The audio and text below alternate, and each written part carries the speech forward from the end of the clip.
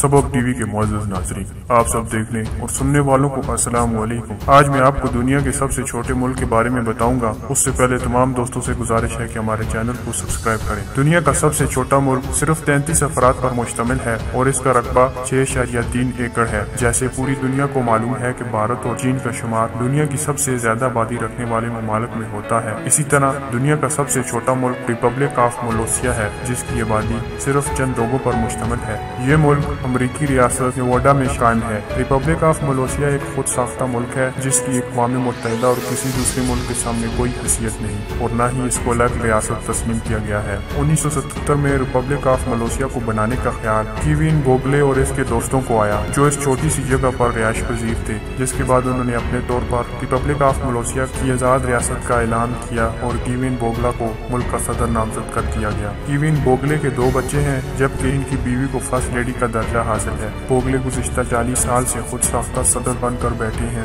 Republic of ملوشیا کا ملک میں اپنے قانون، ثقافت اور کرنسی ہے، جبکہ سیاحوں کی بڑی تعداد ہر سال اس ملک میں آتی ہے۔ اور جب وہ ملک میں داخل ہوتے ہیں، تو ان سیاحوں کو اپنے پاسپورٹ پر مورے بھی لگوانا پڑتی ہیں۔ دوستوں مزید ویڈیو کے لیے آپ ہمارے چینل سبق ٹی وی کو لازمی سبسکرائب کریں۔